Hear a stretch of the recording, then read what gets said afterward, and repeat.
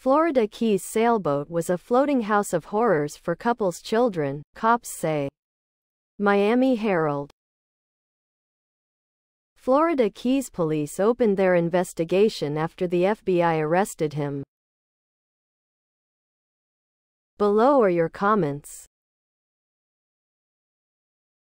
Five lives are potentially destroyed and only 20 years in federal prison. Something is wrong, that certainly is not justice for the kids.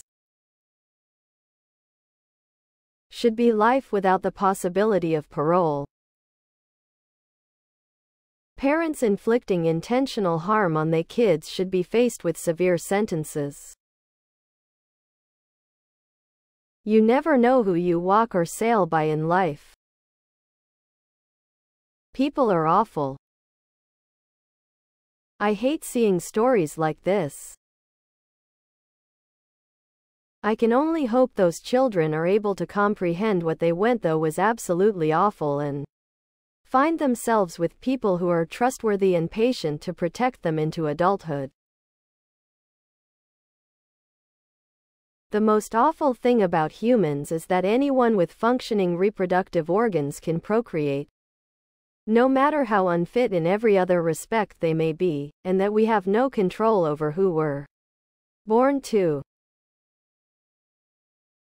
I can only be grateful for my luck in having one loving, strong, stable, functioning parent who did her best and protected me and my sibling from the other, unfit parent. If you have that much, be darn grateful, because only the heavens know how many more people there are. E out there just like these two evil people, whose children will be permanently damaged or worse, be. For they're discovered, if ever they are. There is no punishment too great for these people. There is no humanity in them. I always wonder what the best way is to help these children.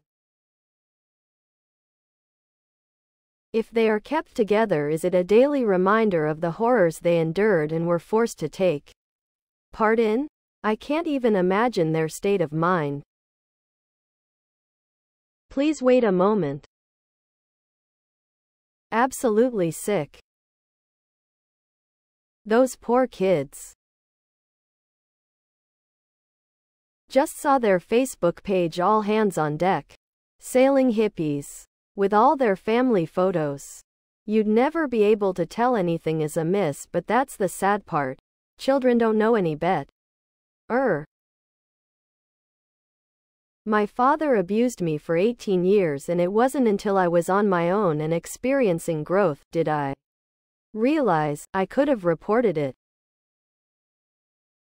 All I hope is the children find loving and safe homes. Please subscribe to my channel. And if you like it, please thumbs up.